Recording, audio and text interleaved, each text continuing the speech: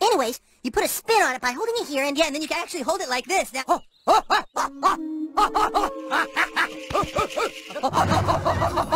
You, an honorary Department of Interior person. So now you are officially in charge of South Park's fish and wildlife. You have authority over all of them.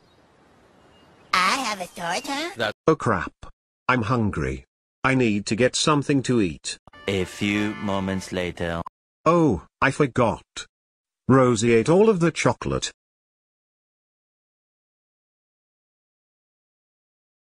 Here I am, the candy store.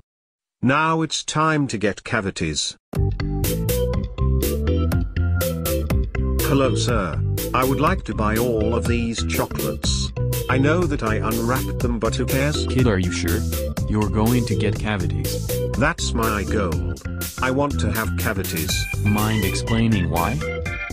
My dad always gives me yucky vegetables for dinner. I want cavities so I can't eat them at all. Actually, I kind of agree.